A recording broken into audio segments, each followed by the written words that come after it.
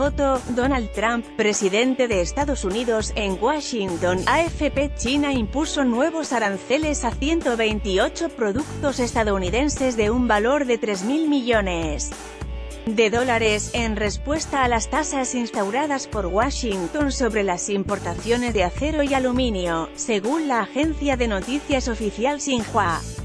La decisión china, tomada por la Comisión Gubernamental encargada de los aranceles aduaneros, afecta a productos diversos como las frutas, la carne de cerdo y los residuos de aluminio, indicó el medio de comunicación estatal.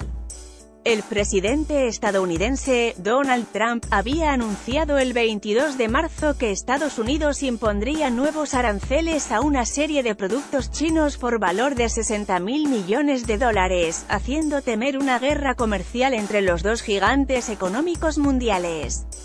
Un día después, Pekín anunció su intención de aplicar aranceles del 15 y el 25% sobre una lista de productos estadounidenses y no alcanzaba un acuerdo con Washington.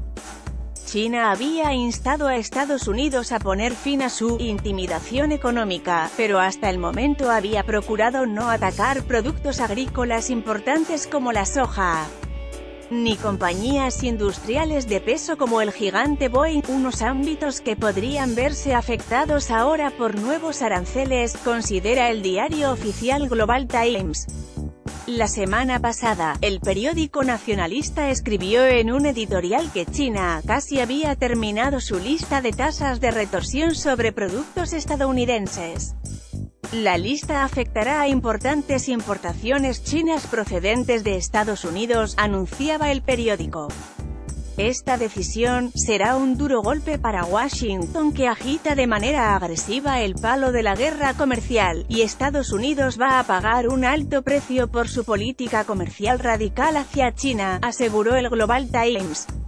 A pesar de esa retórica, el secretario estadounidense de Comercio, Wilbur Ross, dijo el jueves que las nuevas sanciones estadounidenses eran ante todo el preludio a una serie de negociaciones.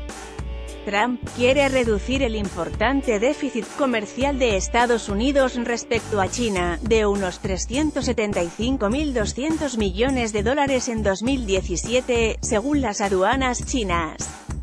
El mandatario acusa además a Pekín de beneficiarse del sistema de coempresas impuesto a las compañías extranjeras que se instalan en China para robar las innovaciones tecnológicas estadounidenses.